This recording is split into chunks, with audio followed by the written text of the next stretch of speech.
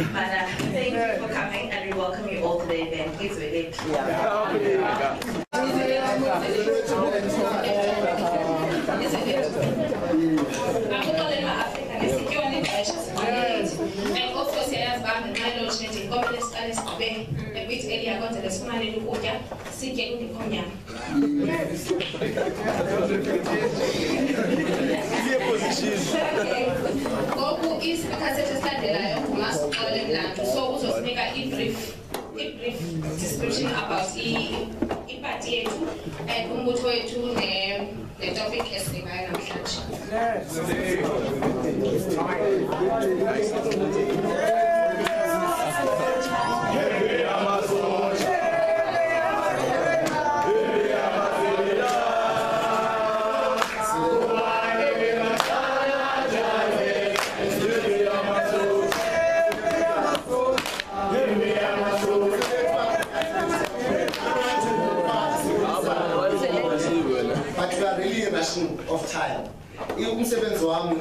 very simple and understandable as clear message is to first kwabantu abangayaziyo what's happening here to give them ba uh, why are we here four years into existence but also to introduce the topic subsequently introduce ubrandon so that angene ashaye into adume ngazo.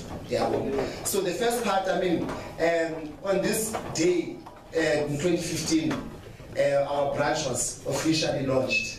And it, it was under the theme, the birth of the new revolution, bringing the Pan-Africanist ethos to colonial universities. Um, over the years, there are many things that have happened, but to create a, a student-led critical group of young Africans who are conscious and concerned about the national question that in in society, not only in South Africa, but in the broader sense of the continent and outside. So today we are here under the theme uh, that we've been trying to be uh, preoccupying ourselves with, trying to with the question of the circle. But we specifically invited Rooms to speak to us about the Azanian philosophical school um, and some of its responses to settler colonialism and other issues and how we can better understand the ills of South Africa as we exist today. And the reason why we are bringing up this question is precisely we want to recenter the politics of students to not to be about popularism or elections, but to be embedded in theory, to be critically thinking about ways which we can take ourselves out of the conditions in which we find ourselves in. And there's no other people who can do that besides the people who are here. So the returning back to the question of the secular, you know, to us represents the returning, the recentering of the politics, the central issue of racism in South Africa. And the fact that South Africa is built under conquest and is maintained through conquest. Um, and we cannot ignore in a university where the majority, where uh, uh, the in South Africa is a minority in this university. And, and the minority in South Africa is the majority in, in, in this university. Not only just on demographics, but also the orientation of the university. You know, in terms of its thought, in terms of its direction, in terms of its design. So without further ado, so invite ubrandons and the ngicela ma-afrika um si- simnyuse ngembongo um if if uh, i could specifically request uthina sizwe nje xa sesiphakamisa ubrandons um i don't need to do the colonial uh, issue of uba ubrandom studied at this particular place and went to uh, zonke but he, he, his work generally speaks to us. And, and, and particularly trying to interrogate you know, in South Africa, a paradigm in which we can use to better answer to the situation in which we find ourselves. He's a philosopher, and not, a, not just any philosopher, but a philosopher of change, you know, a philosopher of revolution. So he's gonna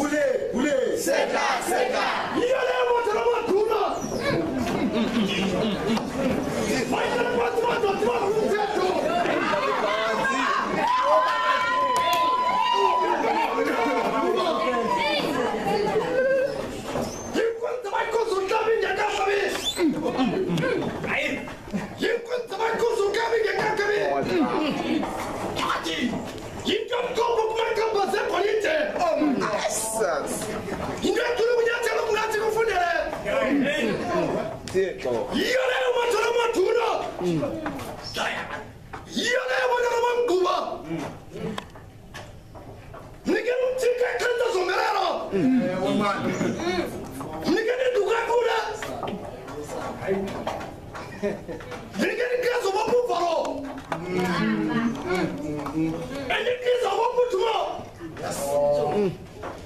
enyidukiza mpula enyidukiza utanganisela munye madoda iyo leyo mathola amaduna iyo leyo bonyana bamguba yekeni madoda nikitabiso yekeni athethekola kuyelasikayelasi angasukumusoku kwaphakho amadoda uyoyo ke madoda ngenkenjekengademlekeletayo wegogo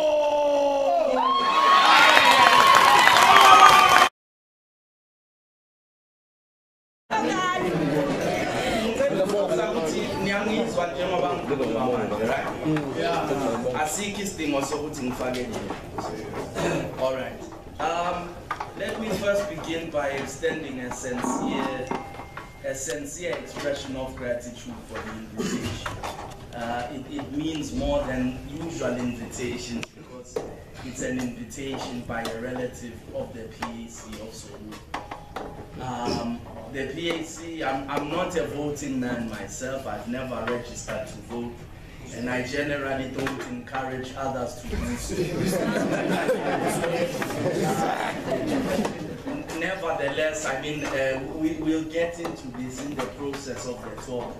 Uh, I do think that uh, an interpretation of the critique of the PAC, of the very foundations of South Africa, is incompatible with the practice of voting post 1994.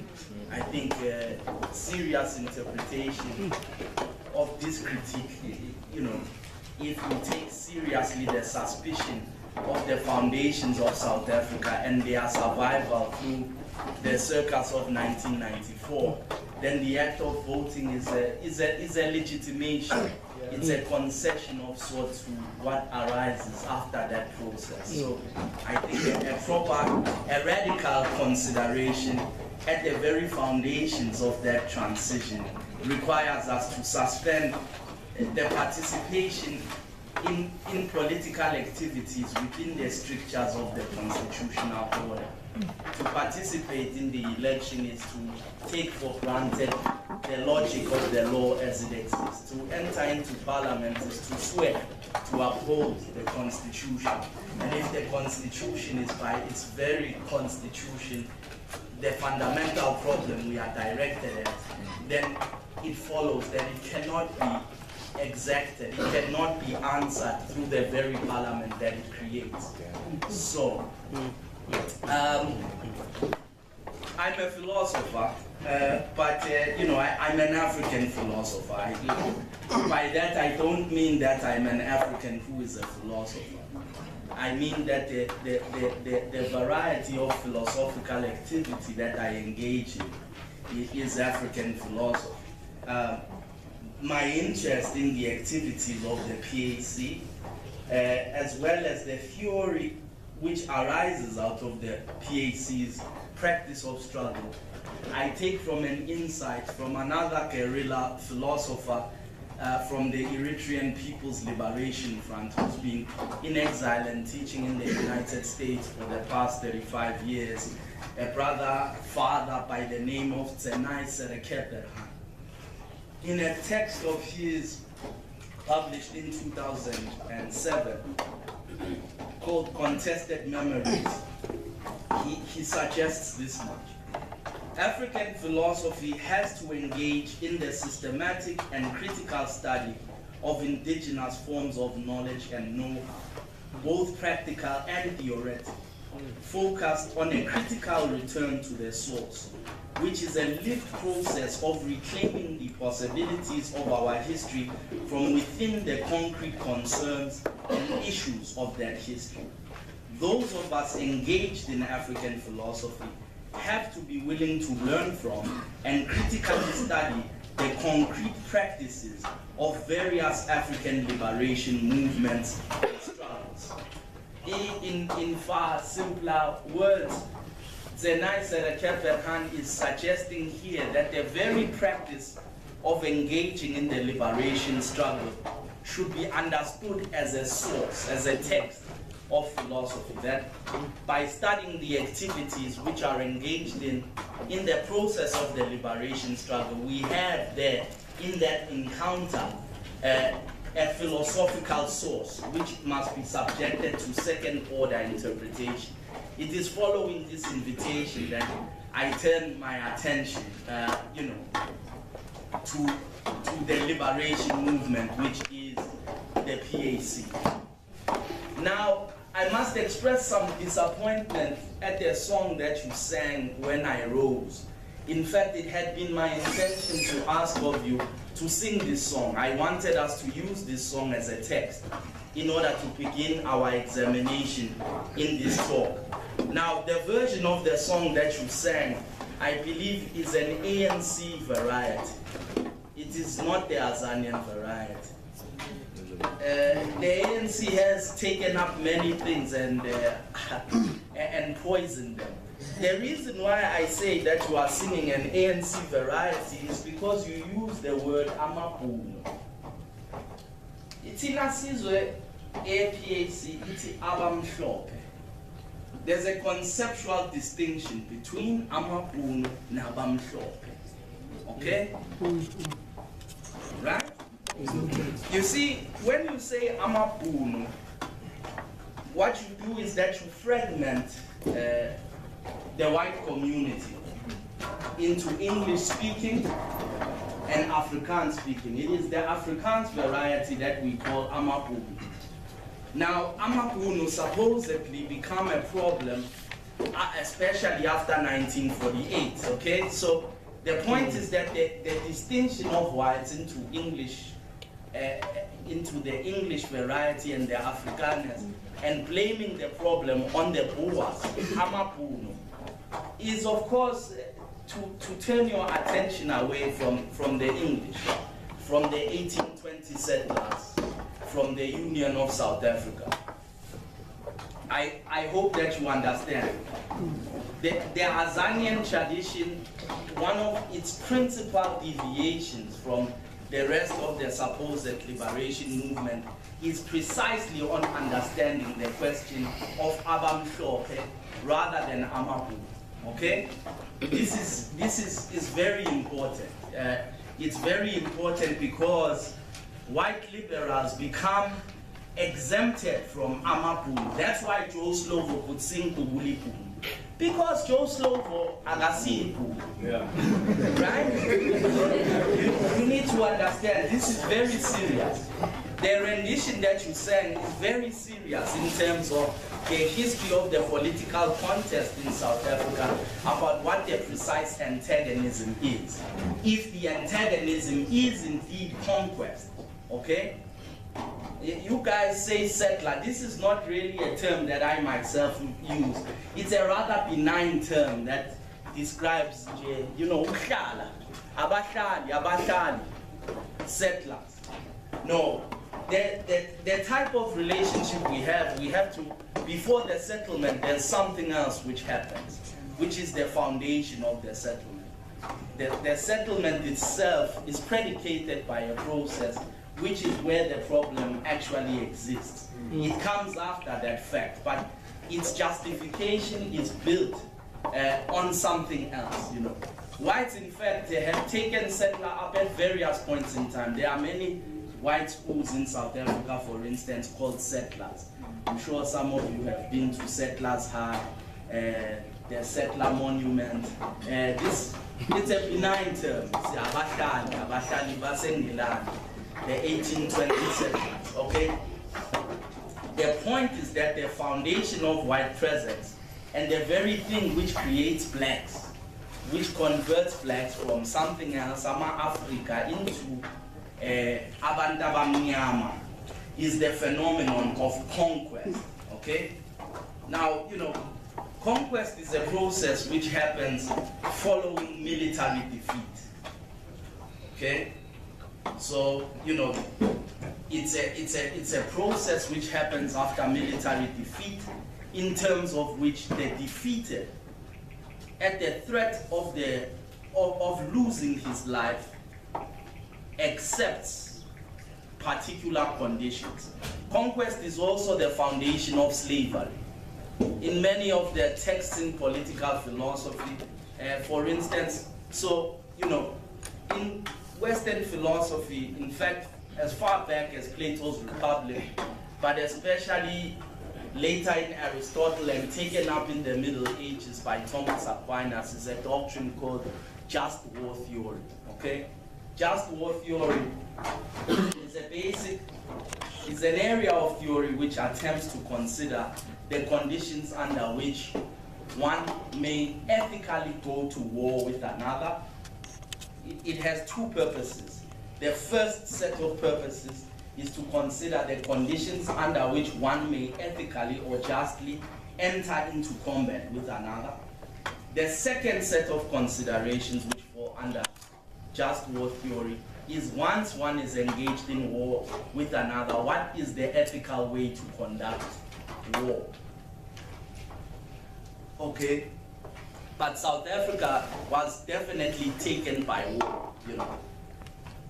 So the point is to understand that uh, whites uh, settlers must be distinguished from other varieties of people present in the by focusing on the origin of title.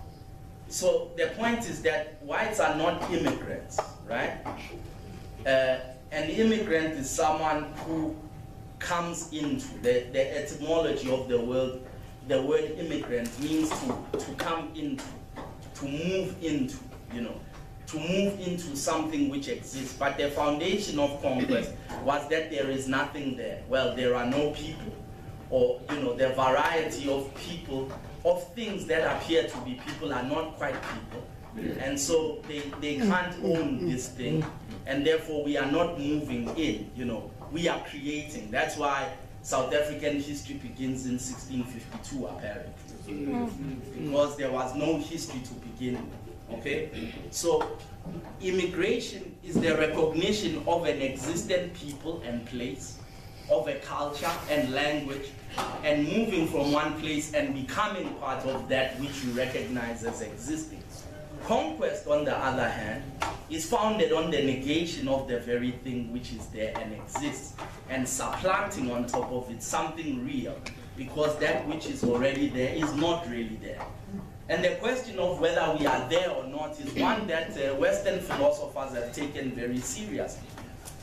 Racism, understood in, in philosophical terms, suggests that black people, if you like, do not have an ontology. They have what you call an onticity, a thinghood, okay? Ontology or human being. Human being understood as no, not a noun, but ukuba umuntu, human being, being human rather, is a specific kind of existential activity that requires the self-consciousness distinguished from other kinds of entities by the very presence of their self-consciousness. So they are beings which can inquire into the nature of their own beings. This is what leads Hegel, for instance, in his lectures on the philosophy of history, says that Africa south of the Sahara Desert has no history. This may seem peculiar, but history understood as a technical discipline is supposed to be the study of motion, of human development, of human self-consciousness. So a historical people in one generation acquire consciousness of themselves and their environment, accumulate that knowledge, and pass it on to another generation. So that generation after generation, there's a progress in this consciousness, an improvement in man's understanding of the world and himself. This would be seen by the resolution of problems of social, medical, scientific variety. So the point is that in Africans, you have the kind of activity that you have in the natural kingdom. Horses don't have a history, all right? Because horses are thought to be entrapped in a cyclical motion. Each generation of horses runs on the grass, uh, runs around, has children and dies. Eats grass, runs around, has children and dies. You, you understand? This is a cyclical motion which supposedly exhibits no progress, no consciousness. So the, the idea in Hegel is that blacks are really just like horses, hmm. or monkeys if you like. That's a favorite because they look kind of human-like, but if you examine their contents, there really is not, no human being to speak of. This is the this is a founding assumption which, in fact, rationalizes a, a, a variety of activities which have the, the foundation of the South African state. Okay, uh, in many of the early constitutions of the Boer republics, the status of, of blacks was very clearly not that of human beings. They were not legal subjects but objects. In any case, the point is that, the point about the Azanian tradition, and uh, I really hope that you take this, you, you'll stop singing that Amabhunu stuff, you know. Uh, otherwise, you should just hand in your t-shirts, not your uniform.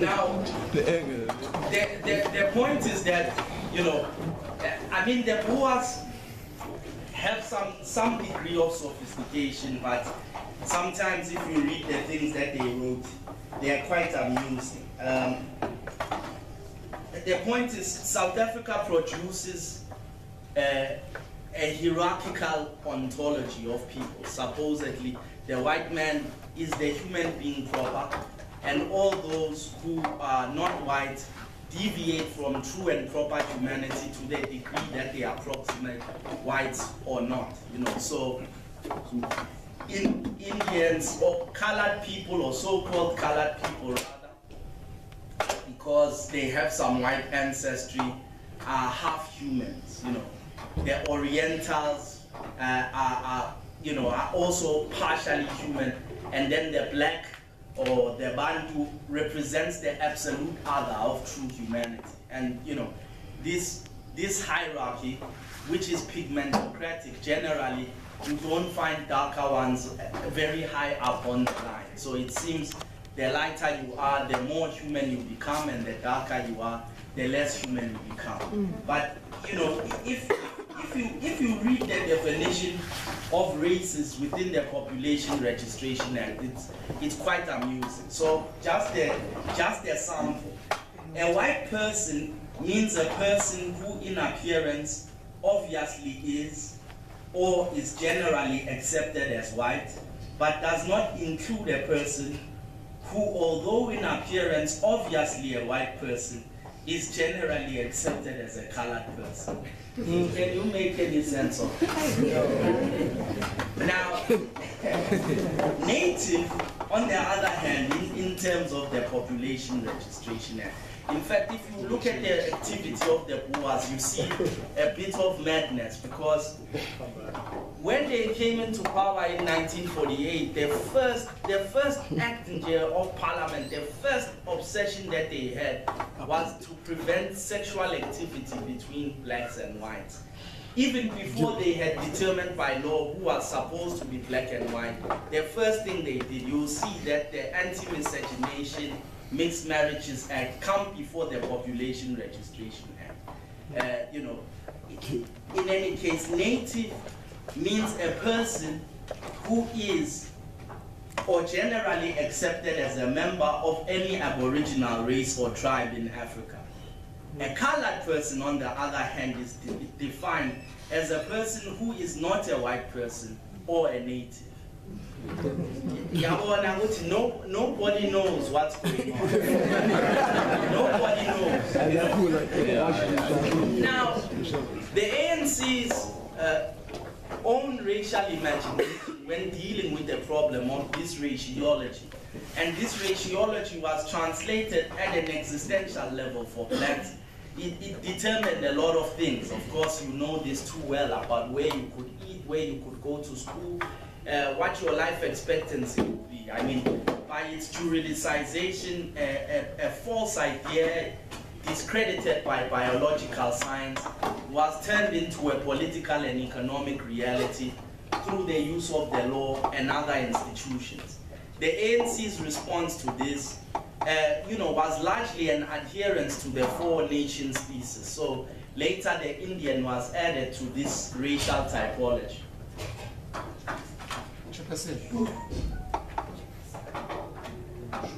So uh, you know, so the, the, the ANC's doctrine uh, re really accepted, accepted the reasoning, I mean, that there are four distinct racial groups.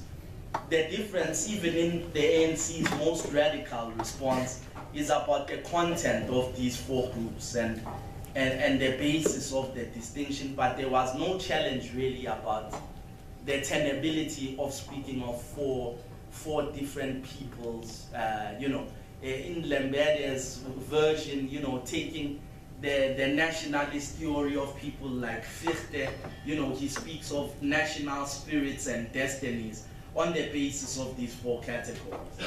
The PAC's doctrine, uh, you know, which, which Sobukwe describes as non-racialism, um, you know, which is often uh, dismissed or made fun of by ignorant people uh, who believe that Sobukwe was naive. Uh, I mean, Sobukwe says uh, there's one race, the human race, but in fact, his approach is the repudiation of the tenability of distinct racial types.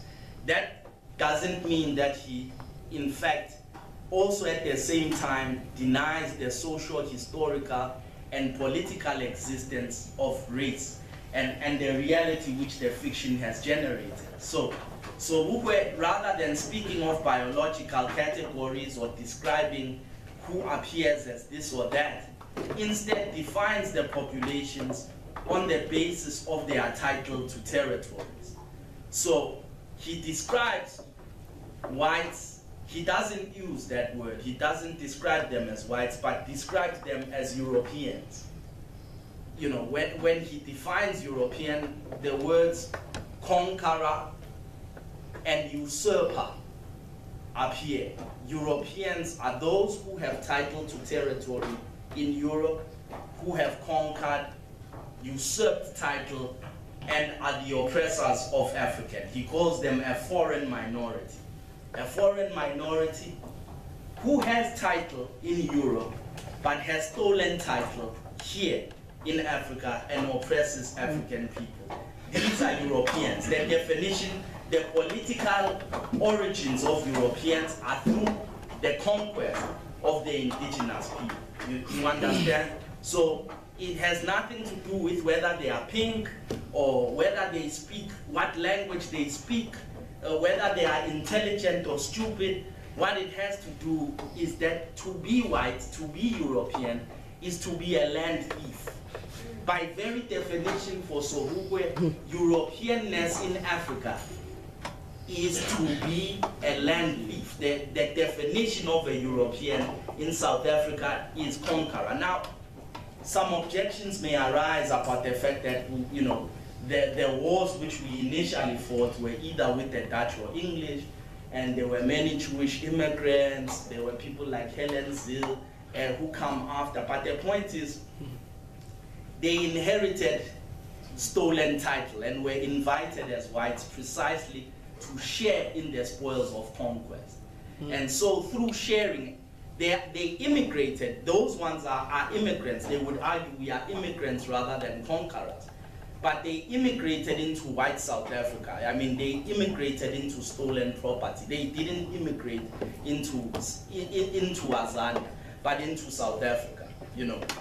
So, in any case, Africans are defined in the converse as precisely the indigenous conquered people, the oppressed, whose title has been stolen and usurped by Europeans. Uh, of course, Sobukwe doesn't take seriously or discuss the question, the so-called colored question, which you saw is rather a strange variety which says uh, neither native nor European. Um, you know, it, it's, it's, it's quite curious. Uh, so in any case, Indians are then described as those who have title to territory in India.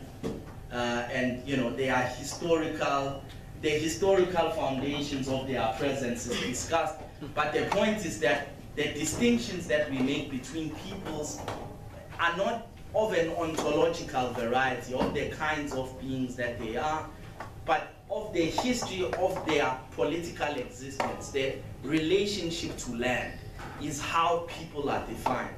Biko later takes on, in the spirit of the Azanian tradition, Biko uh, breaks, you know, so we begin with Lembede, with the four nations thesis, which largely derives itself still from these categorizations which are produced by the state. In Sobukwe, we have a deviation which moves from the biologistic language of race and, and totally away from any kind of idea of a, a, an ontology, but, and moves to the political basis and construction of race.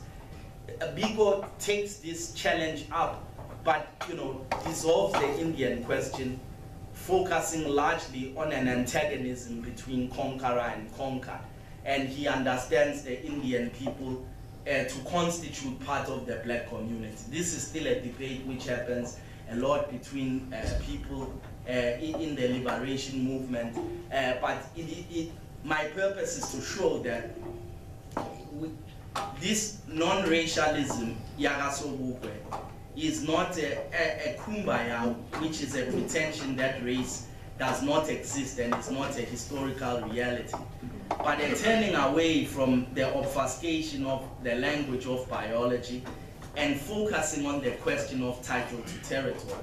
My, my sense is that uh, the, you know, much of my focus, in fact, today is on the question of Sharpeville, given the, what day tomorrow is.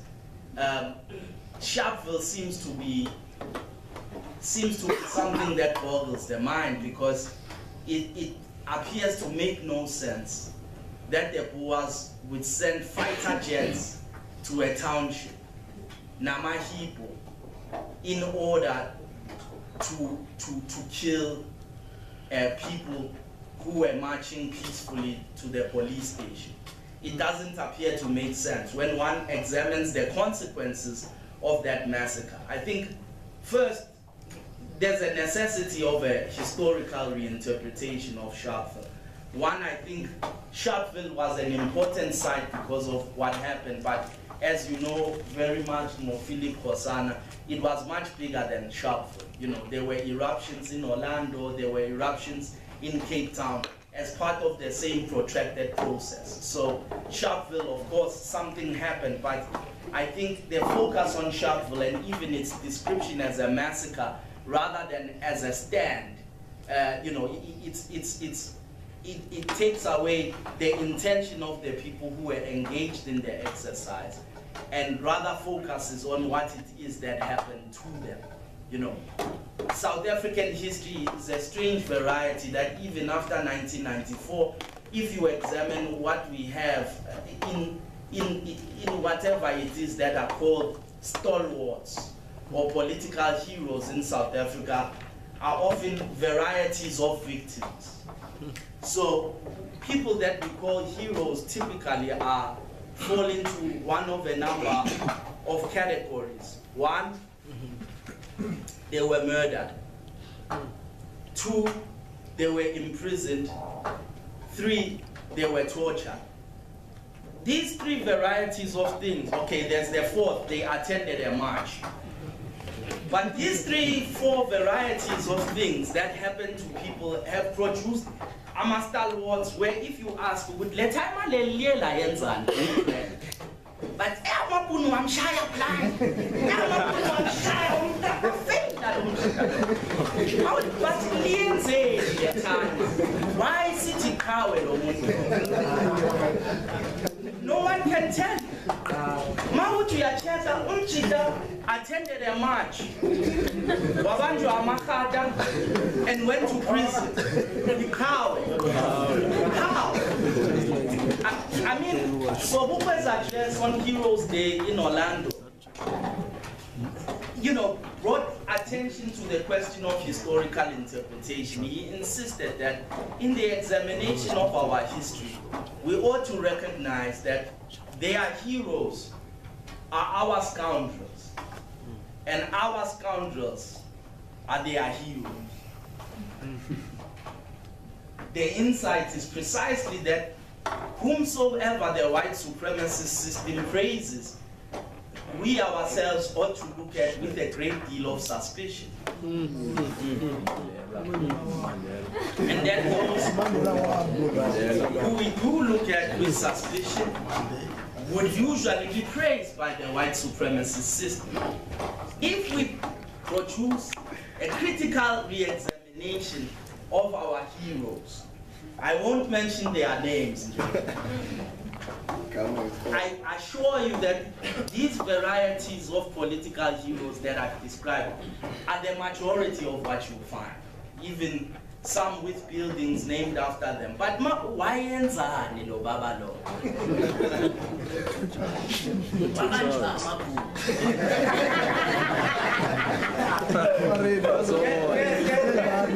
There is something there is something which is seriously wrong and this is, is really it, it really invites a question now what is said about sharpeville is the conversion of people who actually did do something into mere victims of violence by describing simply a stand and orchestrated political motion that was designed to bring insurrection, to bring the state to its knees, are simply described as victims of a massacre.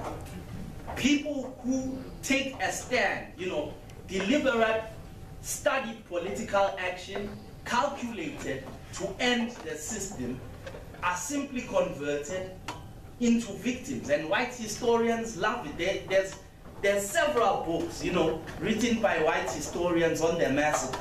But I think the massacre itself really needs to invite us to examine precisely what is it that the Boers found so threatening that they responded with this kind of unprecedented force. The ANC had been in existence when the PAC left for about 48 years. It had never been banned, it had been allowed to exist and conduct its business. In its early meetings, Smuts was invited to address mm. Aboso. Luthuli is described by several of these guys as a reasonably minded African. there was no problem. The PAC leaves within a year of its formation six months. Everything is over. The liberation movement must be banned. Why?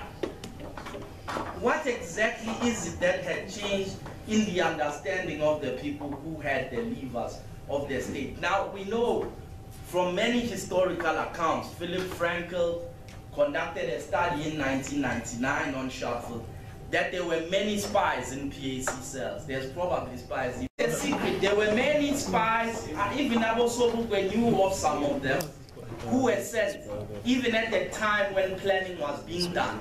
There was a serious intelligence operation in Sharpeville, in Orlando. So in terms of the theory of what Abu Sobukwe were trying to do, the Boers were definitely in the know, you know they were definitely in the know about what these guys were actually up to. And the point was that, of course, the system is untenable. Uh, but the point was that if the Boers enforce their own law, it will lead to the destruction of their own system. They can't arrest all black people. If we all hand ourselves in and break the pass law, and they arrest us who's going to work in their restaurants? Who's going to do the work in South Africa if, if you arrest all of us? And this was the challenge which was exerted. That, so the point about conquest is precisely that in some sick way, conquest is a voluntary relationship. I say this uh, under, so, you know, in, in many of the doctrines you see that the engagement in the combat of war entitles once the engagement has begun, both parties in the war have the right to kill each other. Oh, Mara, my sister. the engagement in the conduct of war suspends the it suspends the rest of the law. So during that time when we're engaged in a declared war, we have the right to kill each other both of us are intending to kill each other. That's the objective of the combat. Mm. Now, if I should defeat Umas Kole, but somehow not kill him in the process, in terms of much of the theories of war, I have a right to kill Maskole because he was trying to kill me. Now, if I allow Mascole to live. In terms of Hobbes, Locke, you know, a number of European philosophers argue that his life belongs to me. Because I had the right to kill him when I did, and I mm. didn't, his life belongs to me. Mm. And so now he's my prisoner of war or my slave. But mm. Mascole, of course, can either comply uh, with this and serve me as his master, or he can die, you know. If I have too much force of arms, he can try to resist and certainly die. But his decision to live as my slave with me as his master is perhaps a decision to fight another day, uh, but it's one in which he consents. It's a variety of consent that isn't proper because it's, it's consent against the pain of death, you know. But Oksalayo, you have the right to die. And your choice not to die is the foundation of our relationship in which I'm your master. You know, so, Sobukwe's recognition of this fact that whites are a small minority of people who are holding us in terms of this contract. If we simply refuse to participate, the system could be ended immediately. Hmm. This was the plan, that if Abadaki just decide that they'll no longer stand this shit, there's no necessity for anyone to even take arms. It can be stopped. They predicted it would take three years to stop it. The plan that they had was supposed to last until 1963, by which it would all be over. In fact, many accounts say that at the time that they were standing at the police station, in Sharpeville, the Boers asked them, some of the police asked them, so if you guys take over now, are you going to throw us into the sea? You know. Hmm. These were questions which were asked, you know. But the point was that this thing can be ended. Can be ended simply by our consensus and standing together. We can end this thing, they projected in three years. Now this, more than any previous political action which had taken place, appeared to scare these guys. I mean, it's something which remains to be studied, but there were 14 fighter jets flying a Sharpeville, Amahipo, Forabo Mama Basesontweni, who were singing songs, but it, it doesn't appear to make any sense that you would show such a force of arms to something which is supposedly so benign, except if you associate this, if you believe that this action is an existential threat to the system which you are pushing, you know. And I believe this is, is precisely what was the problem. Of course, we know the series of steps which follow, even after Cape Town, Sobukwe's imprisonment, his isolation from the rest of the prisoners, and the extraordinary terms of his political imprisonment, which comes from parliament, uh, just betrays a great deal of fear, you know, the erasure of any records of his speech, you know. It's so difficult to conduct research on the man today precisely because of this. But as we see, in the same way that this action is dealt with with this kind of deadly force, so too, proponents of the Azanian tradition are, are ge generally just don't live. Sobukwe himself is killed. Biko is killed very early on, you know. The, the, the point is that this thing, I mean, I, I, always refer to Elias Ntloedibe's book, uh, Here is a Tree. At the, in the addendum at the end of that book, there's a parliamentary inquiry in which the liberal politician Helen Suzman asked the government, why is it that this guy is being imprisoned by, by parliament? What is it? She actually asked them, what are you so afraid of? What is it about this man that scares you so much that you have to take these extraordinary means? Eh, eh, despite the strange way in which this worked, the Boers had prided themselves on having a, a democracy of some sort which operated on the rule of law. The creation of the Sobukwe Clause was a deviation from what had otherwise been a rather fair record of due process which they followed in terms of their own perverse laws. But in this instance, they deviated from all of this in order to clamp down something which they thought was truly dangerous, you know.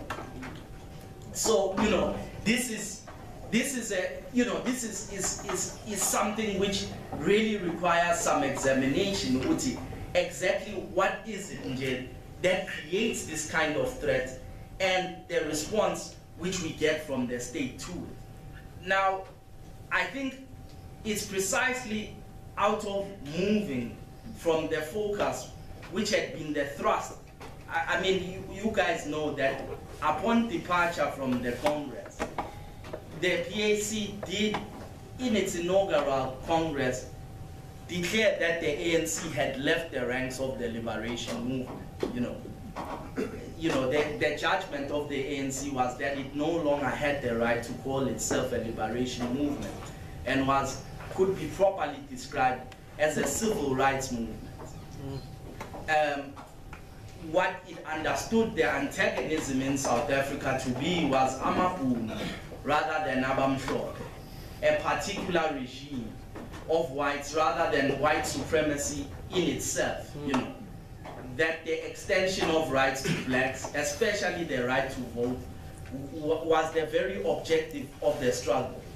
But in the Azanian tradition, you know, uh, you, I saw you guys putting up the five pillars the other day somewhere on Twitter, is this problem of self-determination, you know, the restoration of title to territory and sovereignty over it. When you say, I mean, apparently when the Boers had killed a lot of people who were still alive and wounded, a lot of them were killed while they were lying down, finished off by the police. Who from onlookers who survived, say Amabhunu were saying things like, say, say we lay Africa, nai Africa you know. Hmm. Eh, saying, you know, taunting back the slogans which were being thrown. But the, the problem of this existential threat is exactly that. Rather than asking for accommodation from the system, the Azanian approach was the repudiation of the very system itself, the end of South Africa. and this is something which these guys don't want. You know, it's something, it, it, it constituted the ultimate threat. Playing within the system, asking for a seat at the table is fine, but making the point that the table is actually ours is, is another point altogether and something which needed to be suppressed. Now, it appears that from that point in time afterwards, I mean, the, the point about conquest also is that it's an illegitimate claim to title after conquering a territory, conquerors often attempt to legitimate their title to territory through the rewriting of history. The apartheid state is a famous instance of people who attempted to rewrite South African history. It is claimed by many African nationalist historians that the Bantu arrived after the Boer, or by better accounts that we arrived in South Africa at the same time. This was something which was taught in schools in South Africa until the 1980s that we arrived here at the same time, you know. Of course, at the time that they were killing people and hunting the Khoisan, in, they knew very well that they, they, they arrived and found people there. But of course, in order to legitimate title, a claim was made, which has now enjoyed a resurgence in popular discourse that there was a coterminous arrival between the conqueror and the conquered. And the purpose of this fabrication is to erase the fact of conquest, mm. to suggest that we weren't conquered, we found empty land here. And this is something which they still rather like to sustain, you know. So the point is, now of course, we know that the, the latest trick which they play in one of these techniques of legitimation is to claim that the Bantu themselves as well are conquerors uh, of the of the so-called Khoisan people, right? You are familiar with this other trick, Mos, nah? Yeah. That, now the point is that you must now keep quiet because if you yourself conquered the Khoisan, we must all give back the land to the Khoisan then. or we must shut up and leave things the way that they are. Because we, all of us are, are thieves who have stolen from the Khoisan. So the first trick is to deny that anything is stolen at all. If that trick doesn't work, the second trick is that we have all stolen something. So we must shut up and keep the loot. Of course, this is a problem that I hope doesn't succeed. I've seen that it's a trick that seems to work with a lot of people. Uh, that rather disturbs black people into some state of silence. Um, now, the, the problem with this claim is that let's suspend let's suspend for a moment the anthropological fiction of the Khoisan people. Um, but the various groups of people who arrived here first, uh, by the time that the Bantu arrived in Southern Africa, in South Africa in particular, there was a long period of cooperation. One, these are people who themselves migrated here after the Ice Age. So Africans have been moving up and down the continent. The PAC insists every inch of Africa belongs to us. In fact, even the Population Registration Act strangely defines native as any of the tribes aboriginal to Africa.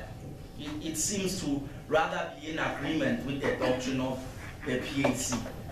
But the point is that, in fact, I think the Xhosa people are the most Khoisan people that there are today in terms of numbers of survival, in terms of the cosmology. Now, it's, it's strange because according to the claim, in terms of which the Khoisan people are now represented by the so-called colored people, one is only indigenous if one both, let's speak the language of blood, has both Khoisan blood and white blood, then one is indigenous. If one has so-called Bantu blood and Khoisan blood, one is not indigenous. You see this strange trick that only those who can claim whites as their ancestors are indigenous. But peoples, Bantu peoples, who have long relations of intermarriage and cultural transmission uh, with the same communities of people are constituted as not indigenous. It's, it's quite a, a, a curious trick, you know, but which is one of the fictions of the historical reconstruction of conquest as legitimate title. The purpose of this thing is that we must stop claiming that they've stolen our land because we have also stolen some land. So history becomes a very important enterprise in the discourse of conquest because e even though the foundation of the relation, the most honest whites, I mean, I think Mwetama was debating Dawie Roodt, I think it's Dawie Roodt, an Afrikaner economist, who eventually conceded and said, it's fine, then conquer us. Uh, but you must know that after you've conquered us, someone else will conquer you. And it will continue to happen that way. So, I mean, the, the, the more honest whites cannot deny the foundation of title in South Africa. But the point of the Sharpeville massacre is precisely that I think this is the closest in terms of political action that we had to the end of South Africa. And I think ever since then, the, we haven't approximated this, this, this kind of closeness to the end. The Boers were studying a number of different resources. Eh, mara akuna discipline kule branch there,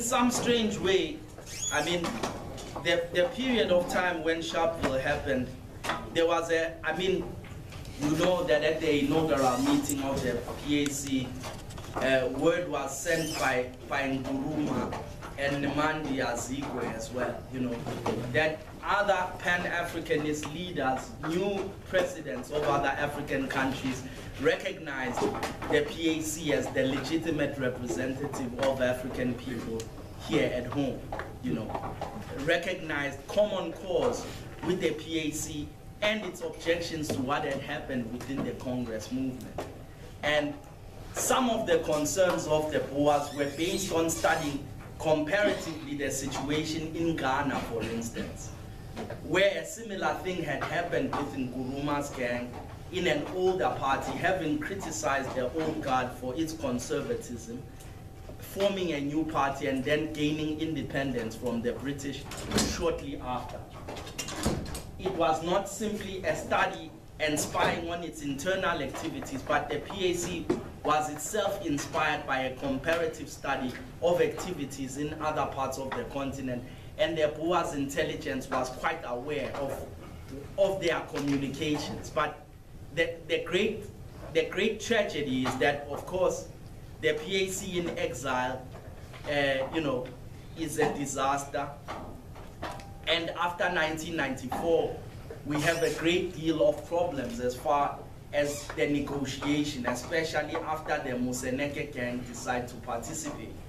But the problem is the, the meaning, I mean, what the point at which we began here, you know, the point at which we began, I mean, Usoli Mapaila recently made claims which Usobukwe had it easy, you know, uh, you know, comparatively easy yeah, than the communists. You know. I, am sure we, we don't need to discuss that this is a, a ridiculous claim. Um, but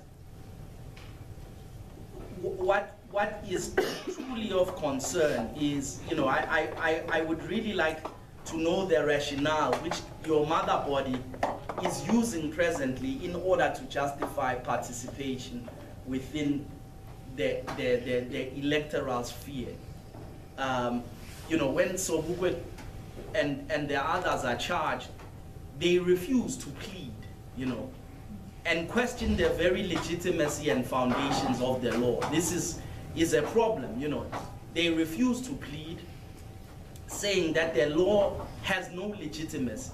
It's not possible to charge us with a law which actually has no popular foundation. Your dictators, usurpers of title to territory, who have made this law, but this cannot be a just law because it has no foundation. By what authority can you actually impose such a law? This is the nature of the objection.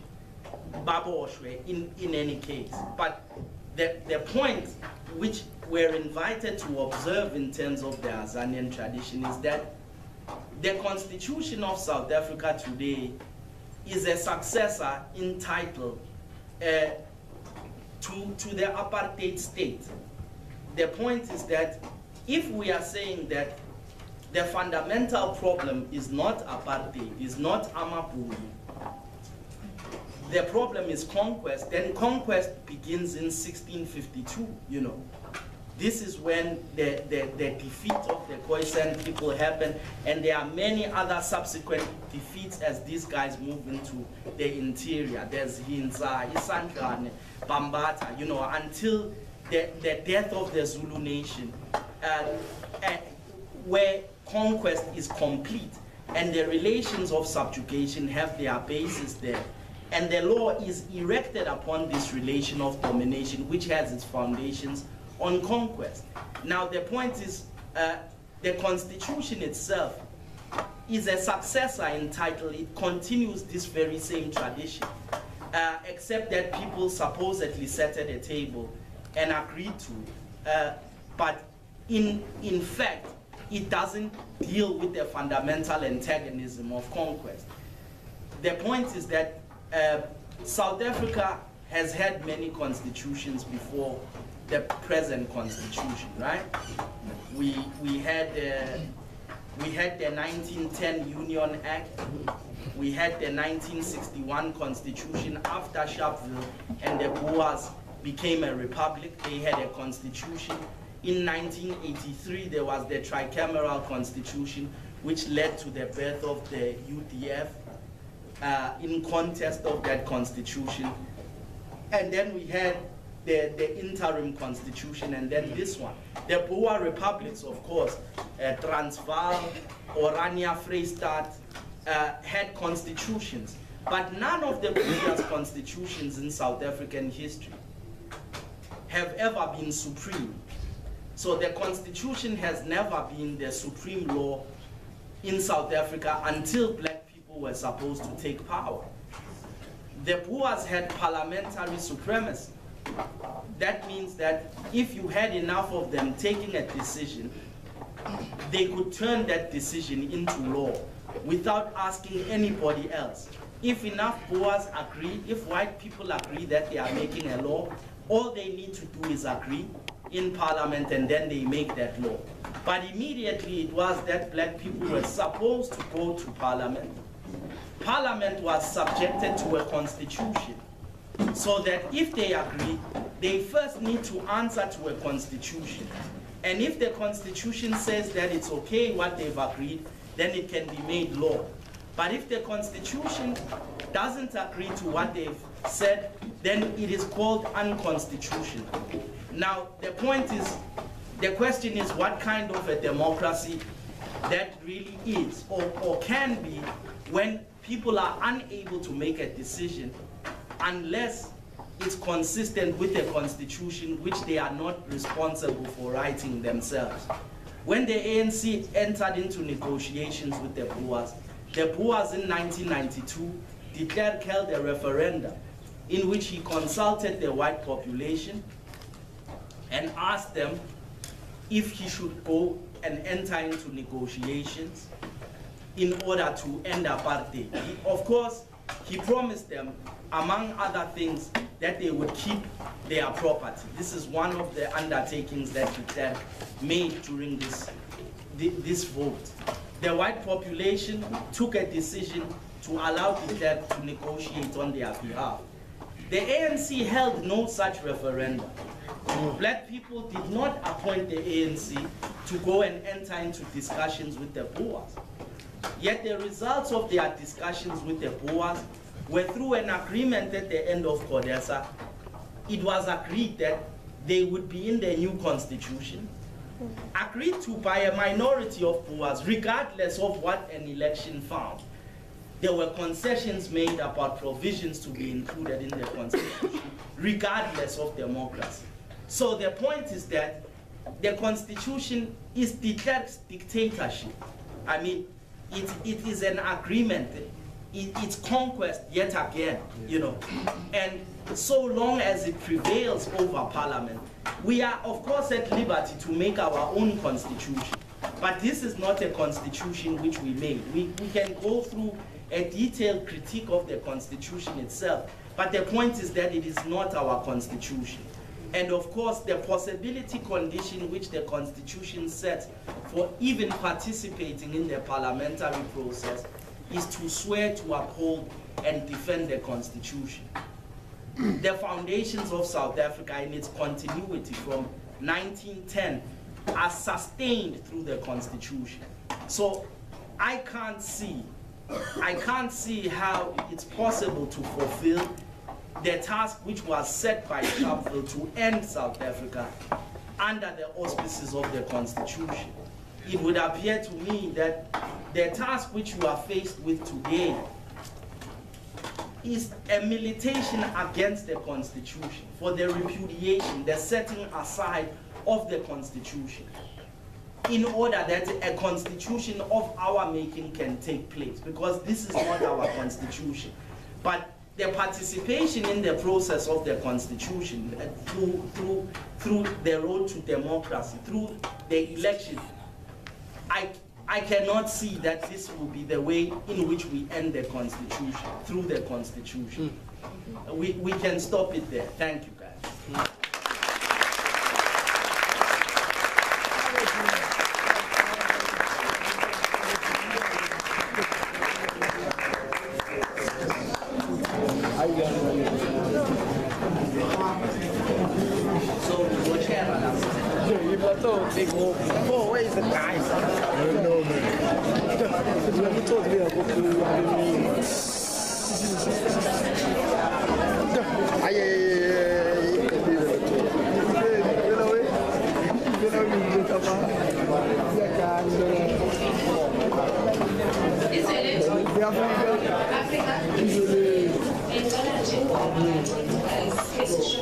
Silence, c'est à mon père.